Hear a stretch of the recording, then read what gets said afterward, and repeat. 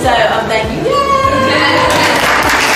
so um, I love it when you see um, churches and businesses come together for the benefit of the community. And so being a, a member of the chamber is just a great way to start. I know you already do some of the things, but thank you so much.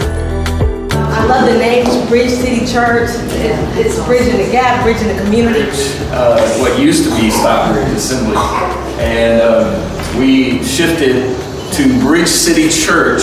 And the biggest reason we shifted is to move from a locational mindset to a missional mindset. And we wanted our identity to match our actions. And uh, so we're really, we believe in being a bridge. We believe that Jesus was uh, to move forward. So we're excited about this new season. We believe that God is doing something new. Uh, there's no way a church can do this on one person. And you see some of our team uh, that are standing in the background right now. But one of our elders, uh, Leroy, is here with us today. Uh, we have uh, our office manager.